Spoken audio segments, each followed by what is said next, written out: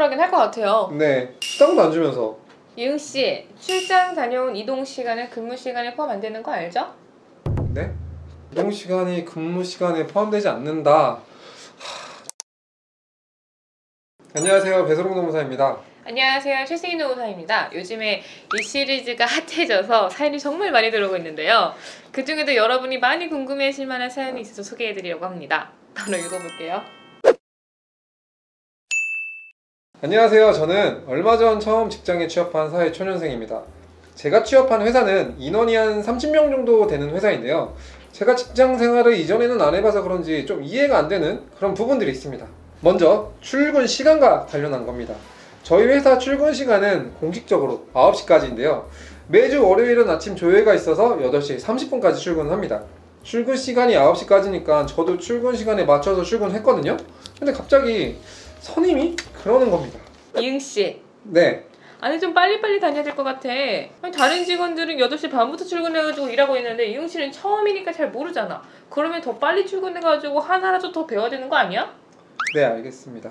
사실 빨리 와도 일을 배우는 건 없는 것 같고 잘 모르겠지만 그 자리에서는 알겠다고 대답했습니다. 근데 일찍 나온다고 해서 돈을 더 주는 것도 아닌데 왜 일찍 나와야 하는지 정말 이해가 안 됩니다. 근데 좀 억울하긴 할 것 같아요. 네, 수당도 안 주면서 음. 또 이해가 안 되는 부분이 있는데요. 바로 출장 시간에 관한 것입니다. 얼마 전에 선임이랑 같이 2시간 정도 떨어진 거래처에 출장을 다녀왔습니다. 근데 출장을 다녀와서 선임이 이런 말을 하더라고요. 이응 씨, 출장 다녀온 이동 시간은 근무 시간에 포함 안 되는 거 알죠? 네? 우리 한 3시간 정도 더 일하고 퇴근해야 돼. 출장 이동 시간은 근무 시간이 아닌 건가요? 아, 이게 맞는 건가요? 좀 이상하긴 이상하죠? 아, 이동 시간이 근무 시간에 포함되지 않는다. 하, 그리고 이상한 부분은 또 있었습니다. 저희 회사에는 당직 근무가 있는데요. 직원들이 돌아가면서 하기 때문에 한 달에 한 한 번 정도 하게 되는 것 같습니다. 근데 추가로 지급되는 게 저녁 식대 정도 수준밖에 추가 수당이 지급되지 않는데요. 그래서 한번 제가 물어봤거든요.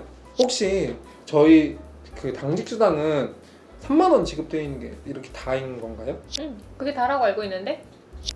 네, 감사합니다. 인터넷에서 알아보니까 당직 근무도 연장 근무니 1.5배에서 연장 근로 수당을 지급해야 한다는데 어떤 게 맞는지 모르겠어요.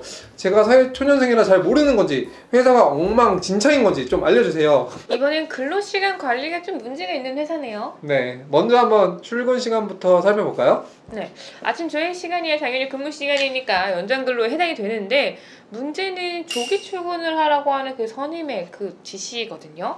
사실 조금 지시라고 하기에도 좀 애매할 수 있을 것 같긴 한데 일찍 출근해서 업무를 하고 업무를 배우라는 것이 회사 공식 입장이라고 하면 뭐 근무 시간이긴 하죠.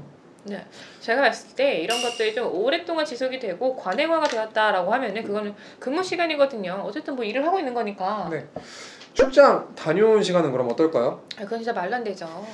출장하는데 이동 시간은 근무 시간이죠. 맞아요. 일반적으로 많은 회사에서는 소정 근로를 근무한 것으로 이렇게 처리를 하기도 하거든요. 이건 좀 이 회사 문제 있는 것 같아요. 네.